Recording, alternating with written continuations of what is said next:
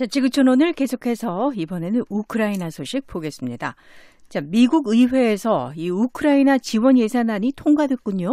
네, 미국 상원이 19일 400억 달러 규모의 우크라이나 지원 예산안을 승인했습니다. 어, 상원은 이날 예산 법안을 표결에 붙여서 찬성 86, 반대 11표 압도적으로 통과시켰습니다. 네, 뭐 초당적인 지지를 받았네요. 네. 하지만 지난 10일 하원 가결 후에 일주일 넘는 진통 끝에 통과된 겁니다. 어, 현재 상원은 50대 50으로 민주당과 공화당이 정확하게 양분돼 있는데요. 이날 반대표는 모두 공화당에서 나왔습니다. 네. 바이든 대통령은 계속 의회에 신속하게 처리해달라 이렇게 부탁하지 않았습니까? 네, 맞습니다. 바이든 대통령은 지난달 말에 우크라이나 지원 예산이 바닥을 보이고 있다면서 330억 달러의 추가 예산을 요청했는데요. 네. 예, 하원은 여기에다가 70억 달러를 더 보태서 400억 달러의 예산안을 승인했습니다.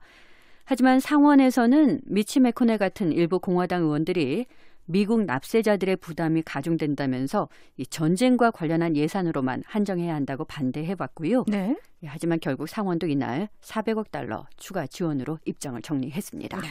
자, 바이든 대통령은 아시아 순방 중에 의회 통과 소식을 듣게 됐는데 어떤 반응입니까?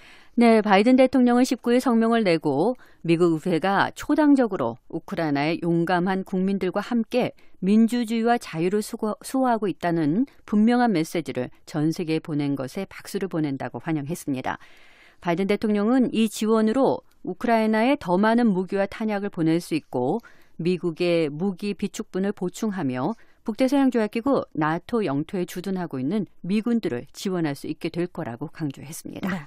자, 나토 가입을 공식화한 핀란드와 스웨덴 정상도 이날 백악관을 찾았죠? 네. 사울리 니니스테 핀란드 대통령과 마그달레나 안데르선 스웨덴 총리가 19일 백악관을 방문해서 조 바이든 대통령과 회담했습니다. 어, 세 사람은 회담 후에 공동 기자회견을 했는데요. 이 자리에서 바이든 대통령은 핀란드와 스웨덴은 강력한 민주주의 제도를 갖추고 있으며 두 나라의 나토 가입이 동맹의 안보를 강화할 거라면서 미국은 두 나라의 나토 가입을 적극적으로 지지한다고 강조했습니다. 네. 자, 그런데 터키는 여전히 반대하고 있는 건가요? 네. 두 나라는 지난 18일에 나토 본부에 공식 신청서를 제출했는데요. 이 터키의 반대로 신청서 검토 단계부터 막혀 있는 상태입니다. 통상 이 신청서 검토 절차는 나토 주재 회원국 대사들 수준에서 진행되는데요. 네. 예, 터키 주재 나토 대사가 반대해서 진척을 거두지 못하고 있습니다. 니니스테 핀란드 대통령은 이날 기자회견에서 두 나라가 중대한 걸음을 내디뎠다면서 이제는 나토 동맹국들이 나서야 할 때라면서 조속한 승인을 촉구했습니다. 자, 이런 가운데 미국과 러시아의 군 수장이 전화 통화를 했다는 소식이 들립니다. 네. 마크 밀리 미 합참의장 그리고 발레리 게라시모프 러시아 군 참모총장이 19일 전화 통화를 하고 우크라이나 사태를 논의했다고 양국 국방부가 확인했습니다. 네. 예, 두 나라 군 수장이 통화한 건 지난 2월 러시아가 우크라이나를 침공한 후 처음 있는 일입니다.